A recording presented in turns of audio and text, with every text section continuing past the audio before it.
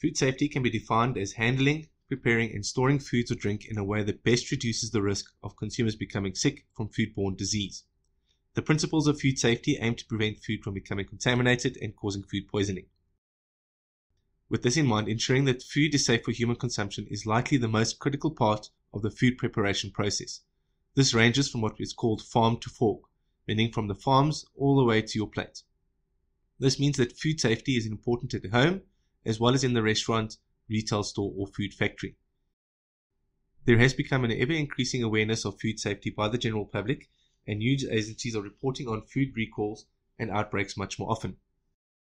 Reviewing the available stats, the CDC estimates that each year 48 million people get sick from a foodborne illness, 128,000 are hospitalized, and 3,000 die from food poisoning in the US each year. Food safety is clearly a global concern that covers a variety of different areas of everyday life. The principles of food safety aim to prevent food from becoming contaminated and causing food poisoning.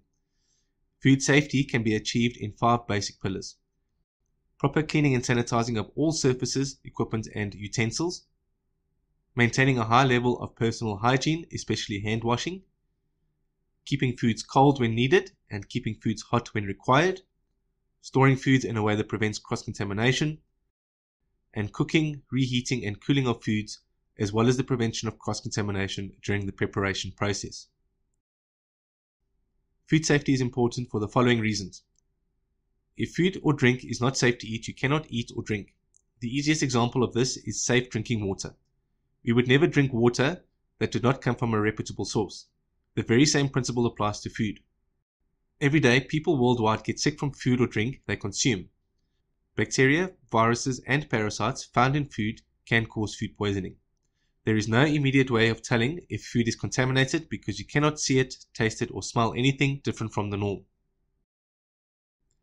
Food poisoning can lead to gastroenteritis and dehydration, or even potentially even more serious health problems such as kidney failure and death. The risk is especially significant for those in the high risk category, which includes small children or babies, pregnant moms, the elderly, immunocompromised, especially HIV infections, and cancer patients. So, food hygiene and food safety prevent germs from multiplying in foods and reaching dangerous levels, ensures daily healthy family living, keeping one healthy and preventing the additional cost of buying medication and medical checkups. This is especially important in business, where companies worldwide lose billions of dollars per year due to staff downtime. Hand washing accounts for 33% of all related food poisoning cases. It is therefore important to maintain good personal hygiene practices. This is something we are taught early in our childhood, yet hand washing is still a critical problem in the kitchen. Cross contamination is a major cause of food poisoning and can transfer bacteria from one food to another, usually raw foods to ready to eat foods. Good food hygiene is therefore essential for food factories to make and sell food that is safe to eat.